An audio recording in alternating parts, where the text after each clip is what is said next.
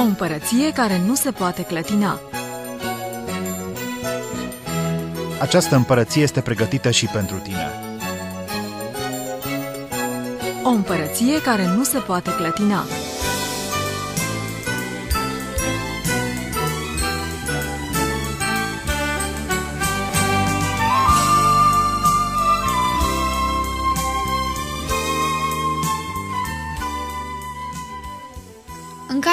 Emisiunii O împărăție care nu se poate clătina, îl veți audia pe păstorul Lazar Gog cu mesajul intitulat Grija prin revelație, inspirat din Evanghelia după Ioan, capitolul 11, de la versetul 17 la versetul 25 și de la versetul 32 până la versetul 36. Pagina Bibliei 1041, de unde și ascultăm cuvântul lui Dumnezeu. Când a venit Isus, a aflat că Lazar era de patru zile în mormânt și fiindcă Betania era aproape de Ierusalim, cam la 15 stadii, mulți din iudei veniseră la Marta și Maria ca să le mângâie pentru moartea fratelui lor. Când au auzit Marta că vine Isus, e ieșit înainte – iar Maria ședea în casă. Marta a zis lui Isus, Doamne, dacă ai fi fost aici, n-ar fi murit fratele meu. Dar și acum știu că orice vei cere de la Dumnezeu, îți va da Dumnezeu. Isus a zis, fratele tău va învia? Știu, i-a răspuns Marta, că va învia la înviere în ziua de apoi. Isus i-a zis, eu sunt învierea și viața. Cine crede în mine, chiar dacă ar fi murit, va trăi.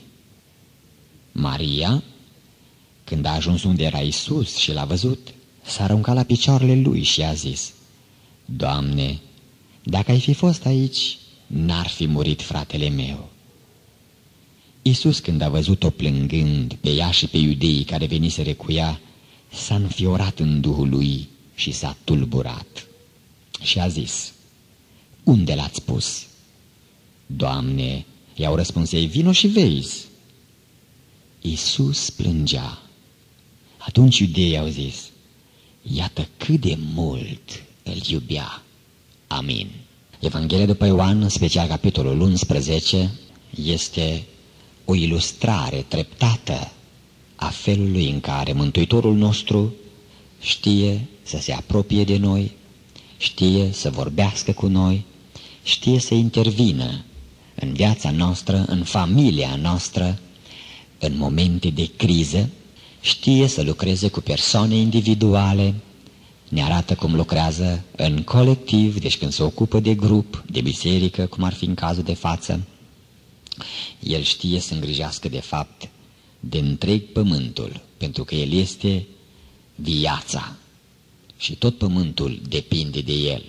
Atunci când Domnul este chemat în ajutorul omului, în special acelui credincios, el procedează ciudat pentru noi, însă din rațiuni divine procedează corect, și anume Dumnezeu are un timing al lui, adică un timp al lui. Ceasul lui funcționează diferit de ceasul nostru. Noi de multe ori l-am dat în față a lui este constant și totul merge la oră potrivită, la vreme potrivită, la minut și la secund. Timingul lui Dumnezeu, adică momentul pe care El și-l alege să se ocupe de noi în criza cea mai dificilă, este dat de multe rațiuni. În primul rând, el orice situație care se întâmplă cu noi nu vede o situație dezastruoasă, nu vede o situație de moarte, ci el vede în toate împrejurările un moment pentru gloria lui Dumnezeu. De aceea a zis, Lazar este bolnav și îmi pare bine, greu lucru să auzi de la Domnul Iisus Hristos, îi pare bine că suntem bolnavi, și îmi pare bine de boala aceasta, deci el are o perspectivă diferită, pentru că boala aceasta este spre slava lui Dumnezeu. O altă rațiune pentru care el în ghilimele numai, întârzie că atunci când vine să se ocupe de noi și să ne rezolve problema, este faptul că el vede de asemenea diferit în timp și în împrejurări. Observați când a zis Lazar dorme și haide să mergem să-l sculăm, să-l trezim.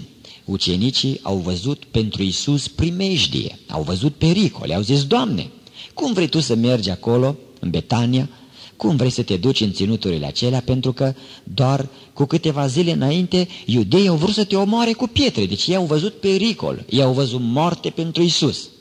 Dar Isus Hristos a văzut diferit. El a văzut o minune acolo. De aceea, timingul lui nu potrivește cu al nostru și este bine să lăsăm după ceasul lui să meargă toate lucrurile. Ca al nostru, de multe ori se strică bateria, îi zboră arcul și așa mai departe și numai nu merge cum trebuie să meargă. Vrem să învățăm meșteșugul apropierii lui Isus de noi în felul în care El se ocupă de noi ca să ne poarte de grijă și lecțiune se intitulează Grijă prin revelație. Deci, prima dată, timing divin, timp divin, ceas divin. În al doilea rând, este purtare de grijă printr-o revelație specială. Ce însemnează această revelație? Înseamnă o descoperire specială. Și anume, trei elemente distincte sunt și în această privință, în lucrurile pe care noi le studiem. În primul rând, Iisus Hristos ne revelează caracterul nostru în încercare și personalitatea noastră în încercare. Lucrul acesta este redat prin persoana celor două surori ale lui Lazar, Marta și Maria. El ne arată cum omul acționează în necaz. El ne arată cum omul răspunde la suferință, cum omul reacționează în încercare. Am amintit de multe ori cel mai ușor, mai clasic exemplu. Îl avem în această direcție în potolirea furtunii. Este Isus cu ucenicii pe mare. Și fiți atenți, marea se înfurie. Toți ucenicii sunt în aceeași corabie, toți ucenicii sunt cu același domn în corabie. Toți ucenicii pot beneficia de aceeași putere în corabie. Toți ucenicii, în totalitatea lor, pot să se bucure de aceeași izbăvire în corabie. Dar când valul este mare, pentru toți la fel, când barca se scutură cu toți la fel, când vântul nu se mai oprește pentru toți la fel, când Isus dorme pentru fiecare, așa, dacă citim pe cei trei evangeliști care redau evenimentul în sine, observăm acolo reacții diferite.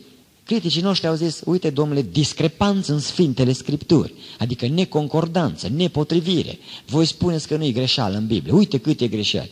Ia spuneți, domnule, cum au vorbit ucenicii când au fost pe mare? Într-un loc scrie, învățătorule, învățătorule, pierim. Alt evanghelist spune, învățătorule, nu-ți pasă că pierim. În altă parte scrie, Doamne, scapă-ne că pierim. Care e adevărul? Toate trei relatările sunt un adevăr perfect.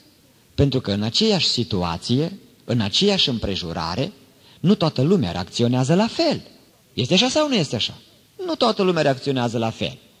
Au fost doi, trei ucenici în care nu s-a mai văzut niciun pic de credință. Și aceștia au zis, învățătorule, învățătorule, pierim! S-a dus. Au fost doi, trei, patru, nu știm câți, care s-au purtat ca și tine și ca și mine.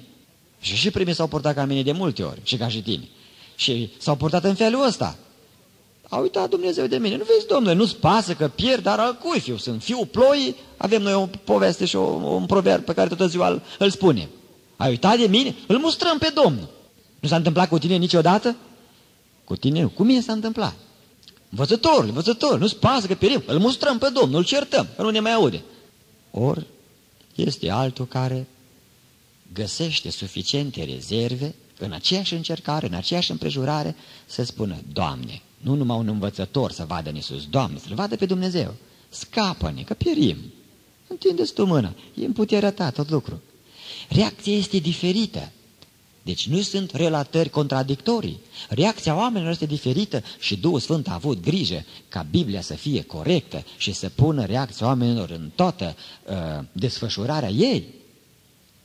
Pasajul ne revelează exact caracterul omului, reacția persoanei. Deci când Domnul se apropie de noi, se apropie zugrăvindu-ne cine suntem, vrând să ne arate ce suntem și cum suntem în momentul încercării.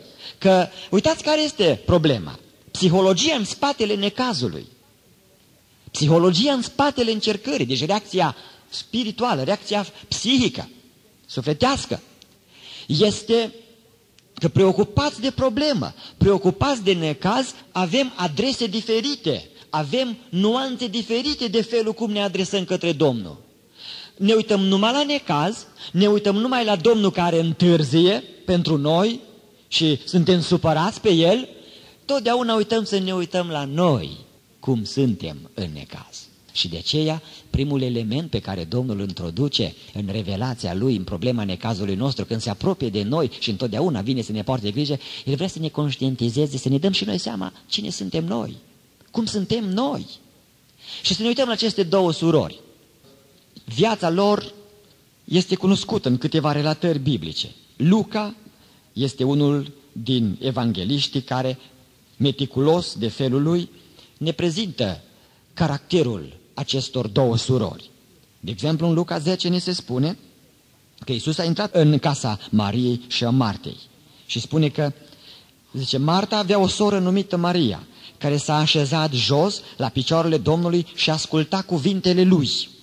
Pe de altă parte spune Marta, deci Maria era o femeie spirituală. Iubea cuvântul, îi plăcea să, să folosească de orice ocazie în care cuvântul Domnului era prezentat. Marta era împărțită cu multă slujire și a venit repede supărată și a zis la Isus, Isuse, crezi că este corect, crezi că este bine? Adică eu fac mâncare, fac curățenie, pregătesc prăjitura, toate lucrurile pregătesc pentru că tu ai venit musafir, tu te-ai apucat deja de predică, te-ai apucat de studiu biblic și Maria, mulțumesc, s-a pus să te asculte pe tine.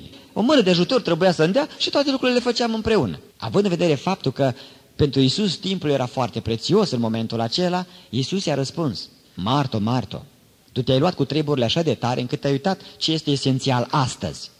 Eu am intrat în casa voastră astăzi. Timpul meu este scurt și nu este timp de întins mes, este timp de cuvânt. Ei, acest timp și l-a ales Maria, deci o femeie care a înțeles în spiritualitatea ei ce trebuie să facă și a înțeles ce este important în clipa respectivă.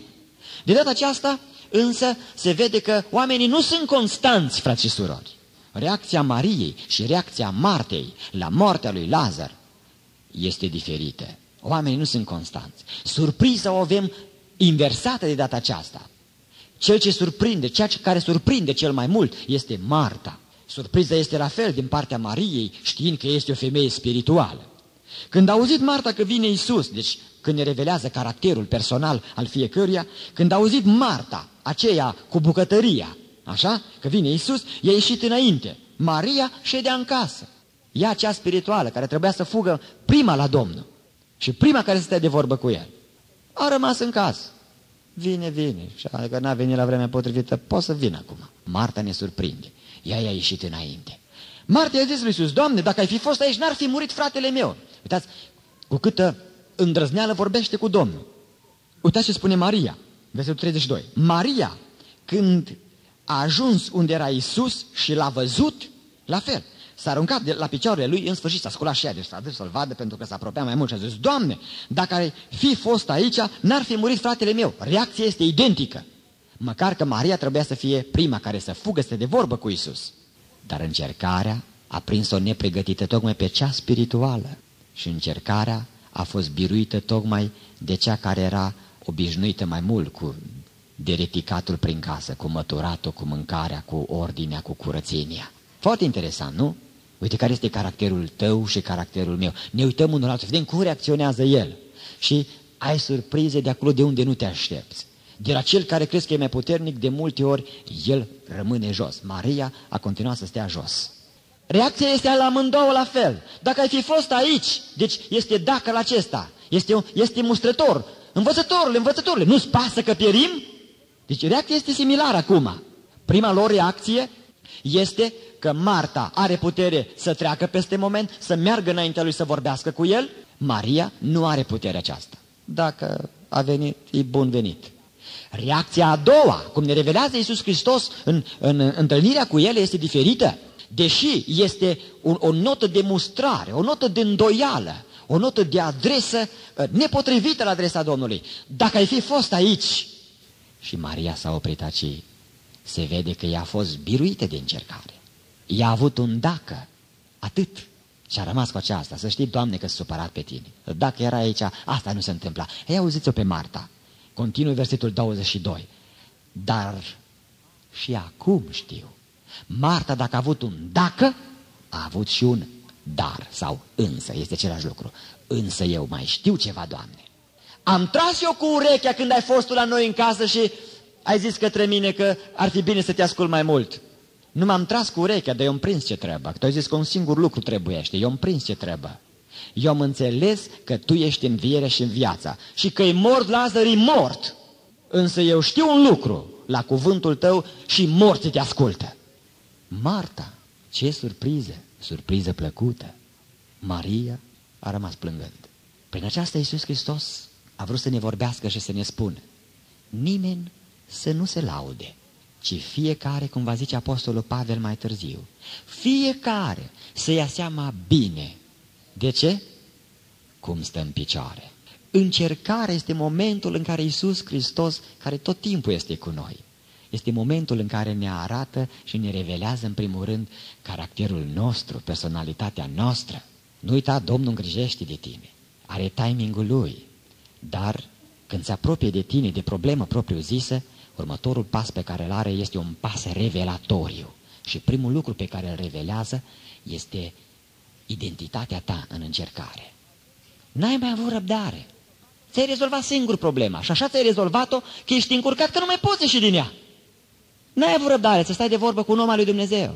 N-ai avut răbdare să stai de vorbă cu părinții tăi. N-ai avut răbdare să te consulți cu un prieten. N-ai mai avut răbdare. Gata, domnule, ce-o fi, o fi. Îi dau drumul. Și acum nu mai știi cum să ieși din încurcătură.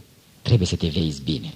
Iisus n-a uitat de tine, n-a uitat de problema ta, n-a uitat să-ți poarte de grijă, n-a uitat să-mi poarte de grijă, dar vrea ca eu să-mi deschid ochii, să nu văd numai problema, să nu văd numai pe el că întârzie și a uitat de mine sau de tine, ci să mă văd pe mine.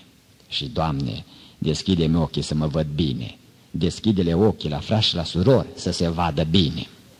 În al doilea rând, următoarea revelație pe care ne-o arată el când se apropie de problema noastră propriu-zisă, deci pe lângă revelarea propriei noastre identități, prin reacția pe care o avem la încercare, el vine, ne revelează sfatul lui în încercare. El ne descopere, deci ne prezintă ce sfat are El pentru noi în încercare. Nu ce sfat îi dăm noi Lui, ce sfat are El pentru noi. Iisus i-a zis, fratele tău va învia. Știu, i-a răspuns Marta. Încă am mai avut ea probleme, chiar dacă a zis, dar și acum dacă spui un cuvânt, se face minuni. Am mai avut niște comentarii marginale, pentru că este ca și când, Doamne, mie de nu-mi răspunzi așa și de nu mi-arați așa, atunci eu nu știu dacă mă mai rog la tine. Pe Dumnezeu nu-L învățăm noi, frați și surori. Nici nu l-a învățat vreun om vreodată. Mulțumim Domnului că suntem singuri, care avem un Dumnezeu care nu-i trebuie sfatul nostru, nouă ne trebuie sfatul Lui. Așa este, eu cred. Dacă era aici, nu murea. Mai mult, știu și acum dacă spui un cuvânt, dar știu eu să-ți desenez eu cum, sau să te, să te explic eu exact cum trebuie? Știu, i-a răspuns Marta, că va învia la învierea în ziua judecății. Deja Marta este un teolog desăvârșit. Ei, Domnul Iisus Hristos a spus, stai, stai puțin, Marta, stai puțin. Eu n-am eu nevoie de sfatul tău și de explicații cu privire la vremurile din urmă. Tu ai nevoie de sfatul meu în încercare. Sfatul meu este acesta. Eu sunt învierea și viața. Ia acest sfat al meu. Știți ce a spus Domnul? Și acum vorbeam în alte împrejurări. Marto, este drept. Eu nu contest ce spui tu, pentru că cuvântul pe care tu îl rostești este rezultatul revelației pe care am dat-o prin profeți. Lui Daniel am spus, poporul tău se va scula în vremurile din urmă. Tu te vei scula în partea ta de moștenire, la sfârșitul zilelor. Da, eu am spus asta, prin Duhul prorocilor. Petru va scrie mai târziu că cine era Duhul lui Hristos când vestea aceste lucruri cu privire la voi, la timpurile din urmă, la ce vremuri avea în vedere Domn. Da, într-adevăr, așa este. dar am ceva mai mult, am eu pentru tine ceva. Nu aștepta neapărat răsplata la vremurile din urmă. Marto, sfatul meu este acesta, uită-te la mine, eu nu spun că eu voi face pentru tine. Tâlharul, peste câteva zile, va zice pe cruce, Doamne, amintește și de mine, cel puțin el nu l-a cunoscut pe Domnul cum l-a cunoscut Marta. Amintește și de mine când vei veni în împărăția ta. Observați? Când vei veni în împărăția ta. Sfatul Domnului este pentru noi. Eu sunt astăzi lângă tine. Ai foc? Las că sting eu, pentru că eu sunt cu tine. Uite, de așa la mine. Nu îmi spune mie de vremurile din urmă. Când înțelegi acest lucru, când știi și ai primit sfatul acesta, că Fiul lui Dumnezeu plânge împreună cu tine, ești plin de bucurie atunci. Când primești sfatul lui care zice, eu sunt. Dar cine ești, Doamne? Eu sunt cel ce se roagă pentru tine. Da? Dar cum te rogi? Uite cum mă rog. Îți mulțumesc, Tată, că tu întotdeauna mă asculți. Oh, deci tu ești, tu te rogi pentru mine. Poate de ce să mă mai tem în încercare? De ce să mă mai tulbur? Pentru că n-am mai auzit de nimeni, Doamne, până acum să-mi spună că întotdeauna ai ascultat când se roagă. N-am mai auzit pe nimeni. Ești singur.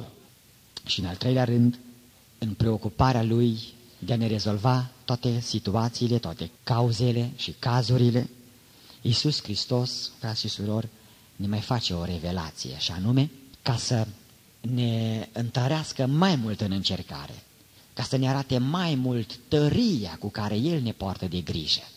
El face o revelație mișcătoare. E o revelație cu privire la sine, la El, când tu ești în încercare, când eu sunt în încercare.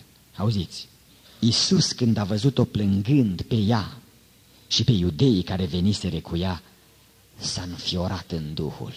Dumnezeu să ne facă revelații de felul acesta, descoperiri de felul acesta cu privire la starea Lui.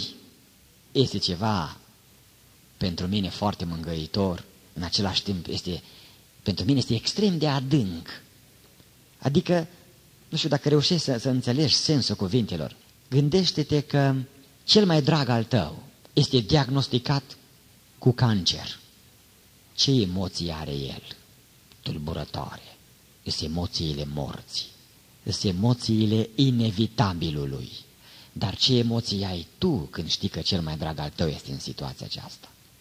Mergi la doctor cu el. nu e așa că tremuri împreună cu el? Este așa sau nu este așa? Ai emoții pentru el. N-aș vrea să înțelegi, Iisus ne-a revelat ceva atât de intim, încât este parcă greu pentru mintea mea să priceapă. Aceleași emoții le are pentru problema ta pe care le ai tu, încă mai intense. Când i-a văzut că plânge, s-a înfiorat. A intrat într-o agonie mentală. Este ca și când în lăuntru tău tremuri. Oare, oare cum o să iasă? Oare ce o să fie? Agonia lui mentală nu-i de natura aceasta, ca oarecum o să iasă, oarecum o să fie, dar el este așa de tulburat și este așa de înfiorat în Duhul lui, de, de necazul tău, de durerea ta, de problema ta, încât se înfioră și este atât de, atât de mișcat de problema ta, este atât de mișcat de problema mea, de suferința mea, că el plânge. Iisus plângea. Când este mișcat așa de tare Domnul, atunci dă seama de ceva și să-mi dau seama de ceva. Problema mea, ascultă-mă, problema ta a devenit problema lui. Dacă el plânge, dacă el se înfioară, este ca și când problema mea deja e a lui, pentru că el are emoțiile mele, emoțiile prin care eu trec în, în, în fața problemei. Mai bine, vedem în cazul acestei femei, cananeence, se vede că este singură, are fica aceasta care este bolnavă. Dar nu o boală oarecare. Este posedată de demoni. Cum se roagă această femeie la Isus Hristos? Și atunci vei înțelege ce simte Isus. Cum s-a rugat această mamă? Cum a zis? Isuse, fiul lui David, ai milă de cine a zis să aibă milă? Ai milă de mine! N-a zis ai milă de fica mea! Că fica mea e muncită rău de un drac. Pe mine mă doare. Problema fiicei mele este problema mea. Necazul ei e necazul meu, neputința este neputința mea, așa că dacă te rog să ai milă, nu te rog să ai milă de ea, te rog să ai milă de mine. Am luat pe mine problema ei. Iisus s-a tulburat, că dovadă că necazul Mariei, necazul Martei, problema lor a devenit problema lui Isus Hristos. Ce revelație adâncă! Când El ți arată felul în care îngrijește de tine, vrea să te îmbărbătezi așa de mult și vrea să mă îmbărbătezi așa de mult, spunându-mi, tu să nu te temi, tu să nu crezi că ești singur. Când tu plângi și eu plâng, când tu ești necăjit, pe mine mă înfioră lucrul acesta, pentru că eu sufer împreună cu tine. Eu am luat pe Golgota poverile tale, am luat pe Golgota necazul tău, am luat pe Golgota suferințele voastre, le-am purtat acolo. De aceea am zis, Dumnezeul meu, Dumnezeul meu, de ce m-ai părăsit? Le-am luat pe mine, eu știu ce înseamnă să te doară. Și când ai probleme, să știi că eu sunt acolo să spor de grijă și așa spor de grijă, considerând problema ta, problema mea. Slăvit să fie Domnul. Timpul lui cu privire la momentul în care face intervenția aceea supranaturală, este un timp dictat de rațiune dumnezeiască, nu de rațiune omenească. Omenește vedem moarte, Doamne, iudeii te omoară de merge acolo. Dumnezeiești, El vede o oportunitate, o ocazie să facă minuni. Mergi să sculăm! Mergi să te omoare! Nu, mă duc să-l scol. El a văzut mai mult, el știe, pentru că el vede. Totul este gol și descoperit înaintea ochilor aceluia cu care noi avem de-a face. Ne vede toată starea, ne vede toată situația, ne vede tot necazul, ne vede toate problemele, ne vede în toate împrejurările. El simte cu tine. Iisus plângea. El simte cu mine. El compătimește cu mine. El dacă a spus că îmi poartă de grijă, El îmi poartă astăzi să ține de cuvânt, el a zis, eu sunt. Citește, eu sunt ăla necăjit, eu sunt ăla cu problemă, eu sunt ăla încercat, pentru că se pune în locul tău, el este substitutul tău. El te înlocuiește pe tine, el mă înlocuiește pe mine. Când cunosc aceste lucruri, nu voi mai avea atitudinea în încercare care am avut-o până acum, ci voi veni întotdeauna în încercare cu confidența că nu sunt singur, cu confidența că așa cum simt eu, simte El cu mine. Când eu plâng, El plânge împreună cu mine. Când eu mă înfior, El se înfioară împreună cu mine. Dar plânsul lui, înfiorarea lui, tulburarea lui, că termenul poate este derutant puțin, mișcarea lăuntrică emotivă, asta este, pe el nu-l intimidează, ci el privește sus. Îți mulțumesc, Tată, că întotdeauna mă asculți. Astăzi plâng pentru cancer. Astăzi plâng pentru familie. Astăzi plâng pentru tineri neascultători. Astăzi plâng pentru biserică. Astăzi plâng, etc., etc. Iisus e acolo și se roagă pentru tine, se roagă pentru mine, dar se roagă cu convingerea aceasta că Tatăl îl ascultă, se roagă mulțumindu-i. Iisus îți poartă de grijă. Iisus îmi poartă de grijă să te vezi pe tine în încercare. Vrea Iisus să te, să-ți reveleze, să mă văd pe mine. Și la timingul Lui, El își va întinde mâna în această direcție. Amin.